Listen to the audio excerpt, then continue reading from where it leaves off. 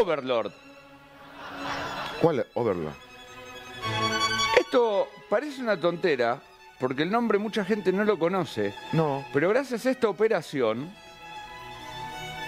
los aliados pueden ganar la Segunda Guerra Mundial, porque un día como hoy se realizaba el famoso día D, el desembarco de Normandía, Sí. en las costas francesas, donde los aliados, después de obviamente un desembarco súper cruento, terminan, y un montón de bajas humanas, terminan eh, pudiendo ingresar a Europa para tomar Europa y ganarle eh, la Segunda Guerra Mundial al eje, digamos, a lo que era eh, los nazis. Los Así nazis. que bueno, un día, un día muy importante para recordar el día de hoy.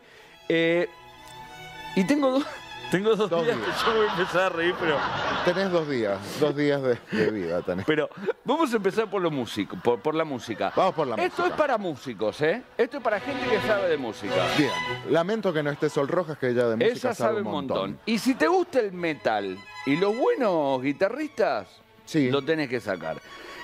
En 1960 nace en el pueblo de Carl Place, en New York, Estados Unidos, músico, compositor, productor estadounidense.